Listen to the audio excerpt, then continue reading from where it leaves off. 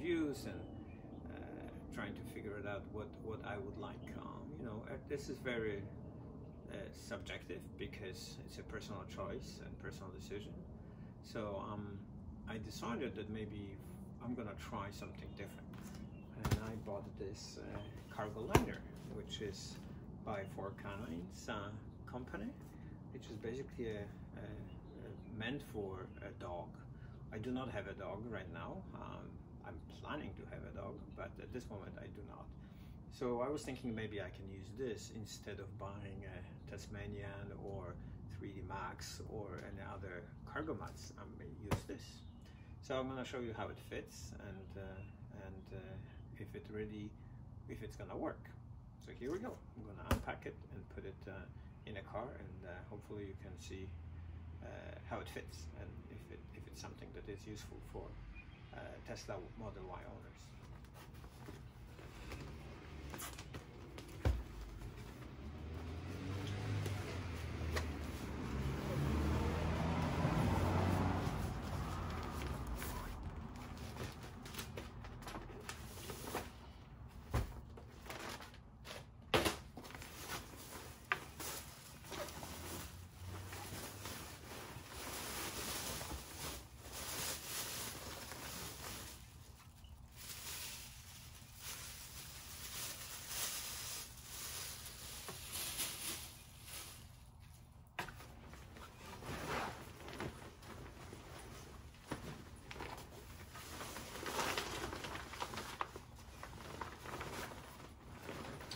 this cargo mat has the split so you can unzip it when you put it on the seats and you can actually fold the seats. Um, but um, um, it's pretty big. This is an interior, like underside. Uh, actually, it's a little bit kind of a non-slippery, uh, rubbery material here, and uh, the top is just uh, just a waterproof material here. On top of this, some kind of uh, polyester or something, I'm not sure. Those uh, two loops, there's one loop here and then there's another loop right here. They're supposed to go over the headrests on the back seats. And so this is um, the sign that goes inside the car. And this is the piece that is at the back. It has the curtain, uh, or whatever you call it, something that will eventually you can pull out to protect your bumper. So that's how it is. Let me continue doing installation of this thing. So I'm assuming we'll adjust it here in the back of the car. So lines up here. And then my seats are already folded down, so I will push it down there.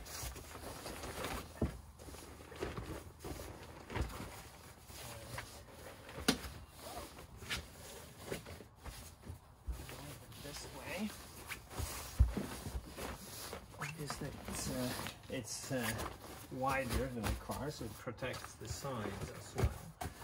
Um, so here is. Um,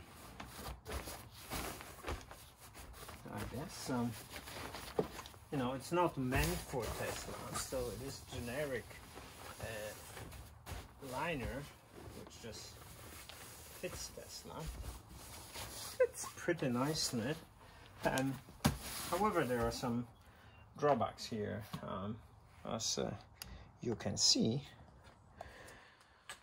first of all this cargo holes that we have those little extra places in they're kind of blocked by this on this side and on this side as well. Uh,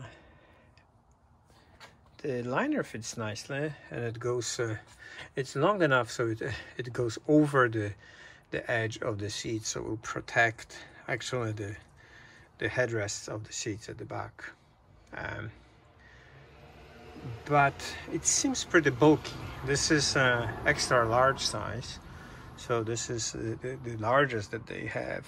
Um, I spotted this size on purpose because I wanted to make sure that it goes over the seats so it will be protecting. Okay, I'm gonna put the seats up and see how it fits with the seats up.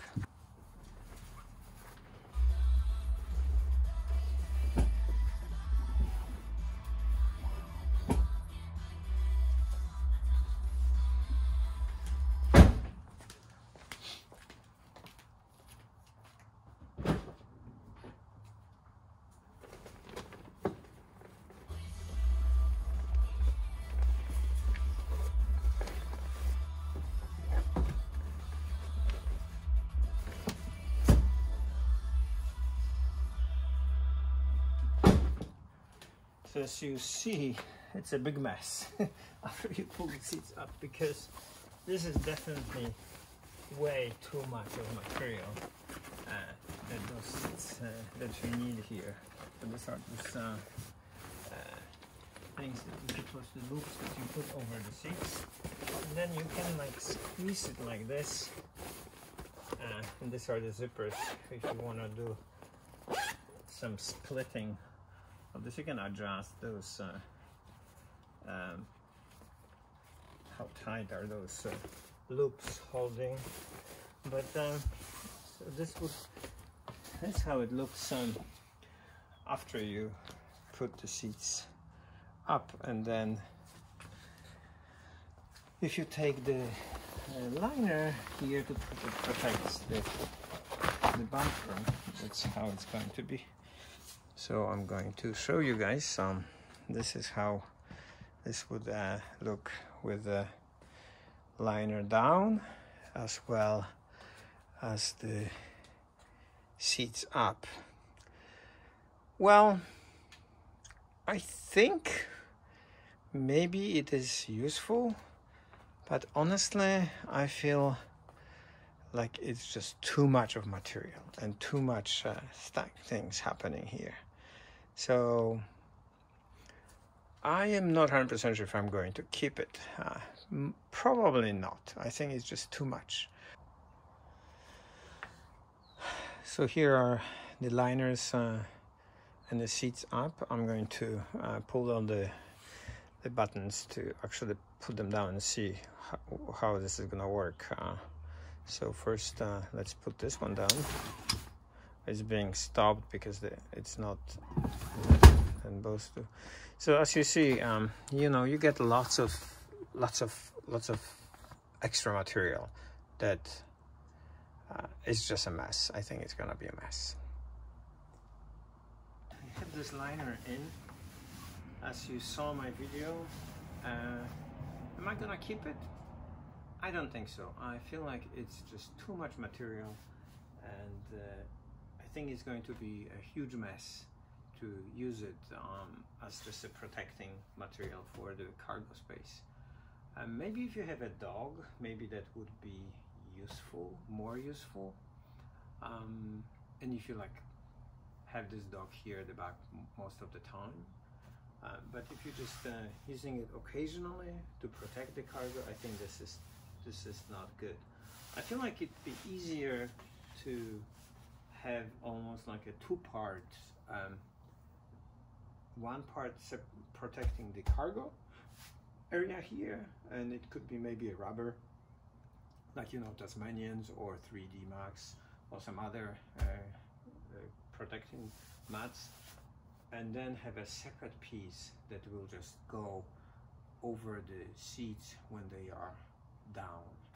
This way, I think uh, it'll be more useful.